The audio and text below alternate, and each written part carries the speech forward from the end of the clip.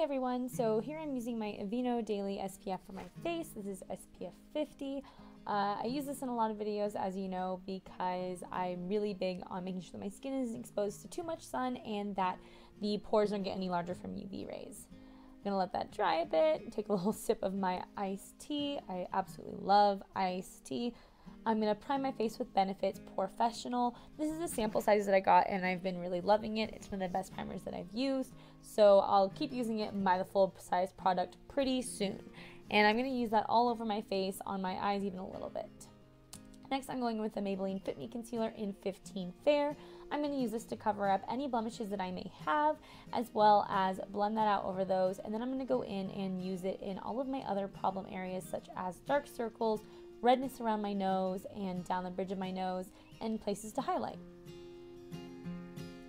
Now here's the Lorac Pore Perfection, sorry.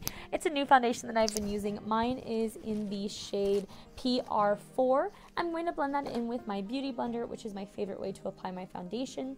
Now, the Lorac Perfection foundation has been my holy grail foundation ever since I found it. Um, I really like the way it blends out. It has a perfect color match on me. I highly recommend going into a store like Ulta or Sephora to make sure that you are getting the absolute perfect color if you're going to be spending money on a high-end foundation. Next, I'm going in with my Maybelline Fit Me Concealer. Again, this is going to go under my eyes to cover up any dark circles. And I'm going to be blending this out again with my Beauty Blender. Sorry for the lighting change. My room was going absolutely crazy because it was raining that day. So the clouds were in and out of covering up my lighting. And so it's going to get a little bit wonky here and there. And I'm so sorry. Next, I'm to use it down the bridge of my nose as well as around the redness on my nose. Also over the corners of my mouth to highlight. And I'm to blend that out once again with my Beauty Blender. It's really like the best all-purpose tool to use for your foundation. I use it for absolutely everything. So I would recommend investing in one of these. You can get really, really good deals at different kinds of websites that make the Beauty Blender totally worth it. Another sip of iced tea. Surprise, surprise. Next, I'm going with my Sephora Sol de Rio bronzer. I'm going to be using this with a Real Techniques contour brush. So I'm going to be putting this in the hollows of my cheeks to contour my face, make it look a little bit slimmer. I'm going to be using this also once I'm done with my cheeks on my temples and then across my forehead.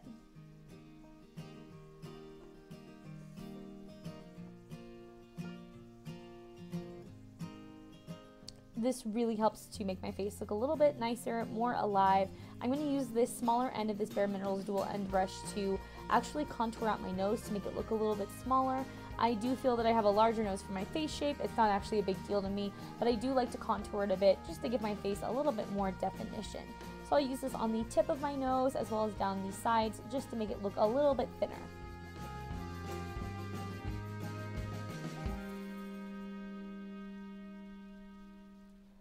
Now I'm going in with my Bare Minerals Original Mineral Veil. This, I'm, or I'm sorry, this is my Bare Minerals uh, blush. This one is in the color True, and I'm going to be using this with my Beauty Blender again because it really gives a nice natural flush. So I'm going to use this down my cheeks, um, focusing higher up on the cheekbone and then a little bit on the apple.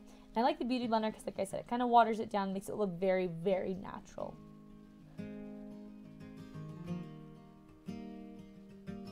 Next, I'm using my Bare Minerals Original Mineral Veil to set all of my face makeup. So I'll be using this especially under my eyes, over my cheeks, over everything that gets oily. So down my nose, all of that.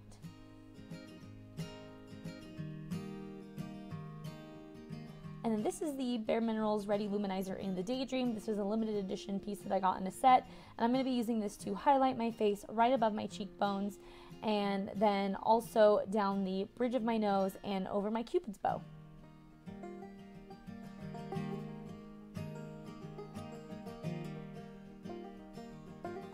And here I'm just using a Real Techniques brush that I got in a travel set that I absolutely love. I'm going to go over my lips real quick with a clean white washcloth just to get anything off them. And I'm going to prime my eyes with Bare Minerals Prime Time since I will be wearing this eyeshadow for a while tonight. This is a look for a graduation party that I was going to that night. It was a special senior party, so I was going for a little bit more of a dramatic look than I would typically go to. So this is my Maybelline Color Tattoo in Barely Branded. Um, this I'm going to be using all over my eyelid as well as up under my brow bone, just a little bit to even out my skin tone there. It also gives a nice base. Since I'll be doing a winged liner, I definitely wanted to make sure that I didn't have too much eyeshadow on because I don't like to distract from my winged eyeliner too much with dark eyeshadows. Alright, I'm using a clean mascara wand here to comb up my eyebrows. I typically don't do too much with them, except for comb them up and fill them in if necessary because I am growing them out. And now with my Naked 2 palette, I'm going in with a flat shader brush into the color Tease. And this is a matte kind of taupey color that I'm going to be placing on my crease just to define that area a little bit more so that my eyes look a little bit more defined.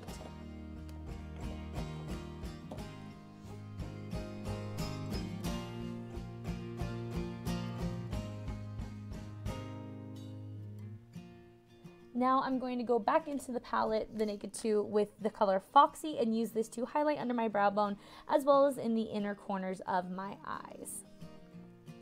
And this is the lightest color in the palette and it's a very good matte highlighter shade.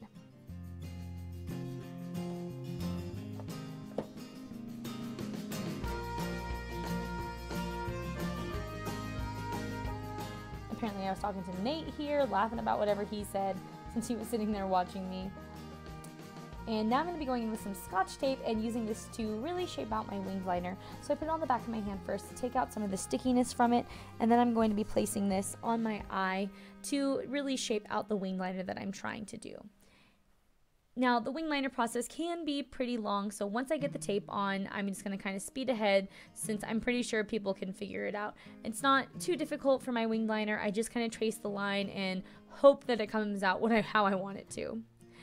Now I'm going into my tightline and using the Maybelline Master Studio uh, eyeliner in black to tightline. I'm just making sure that I don't have any type of like bright part of my eye showing through at this since I'm trying to do a very dramatic cat eye eyeliner.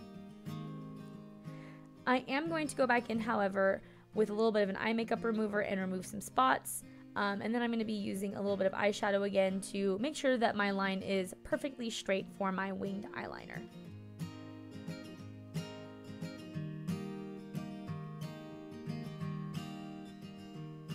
Another sip of iced tea. I should have a counter for this.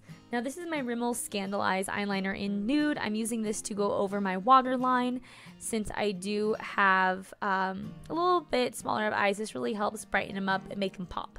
So I'll be using this on both eyes. And then I'm going to go back into the Naked 2 palette and I'm going to use the darkest matte black shade in the palette as an eyeliner and that shade is called Blackout. And I'm just going to be running that with a small eyeshadow brush from Urban Decay that came with the electric palette underneath to really get a smudged out kind of look that's not too dark so it doesn't pull away from that cat eye. And unfortunately, I was not thinking and just kind of put my naked palette right in front so it was difficult to see. I'm going to go back in with my Beauty Blender that has leftover concealer on it just to make sure that all of the areas are fully concealed and there's no extra black smudges anywhere. Here, I'm looking for every kind of thing apparently in my life. I'm going to do a little bit more concealer from that Maybelline Fit Me underneath, once again, just to make sure that everything is fully covered.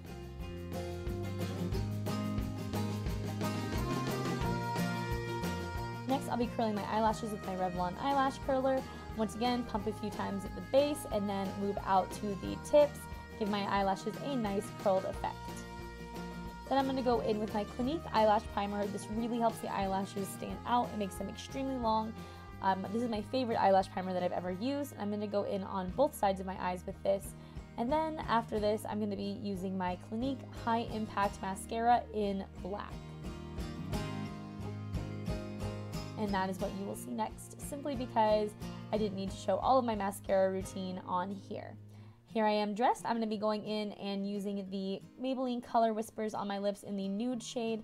Um, and then you can kind of see Nate chilling out in the background since he was waiting on me anyways. And this is the Buxom Lip Cream in White Russian, my absolute favorite lip gloss. It's pretty matte, not too shiny, not too sticky, and it works for everything.